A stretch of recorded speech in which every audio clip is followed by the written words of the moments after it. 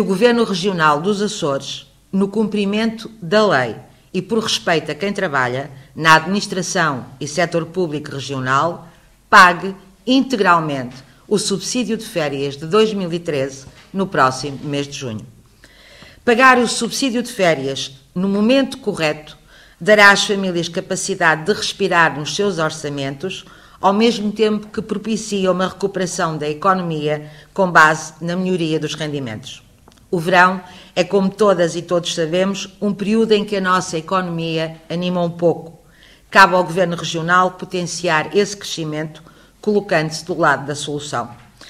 Para o Bloco de Esquerda Açores, nem os direitos dos trabalhadores e das trabalhadoras são adiáveis, nem a decisão do Tribunal Constitucional pode ser contornada.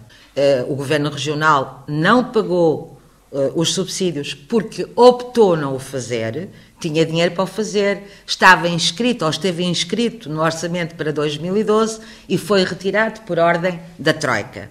Ou seja, a autonomia não foi exercida.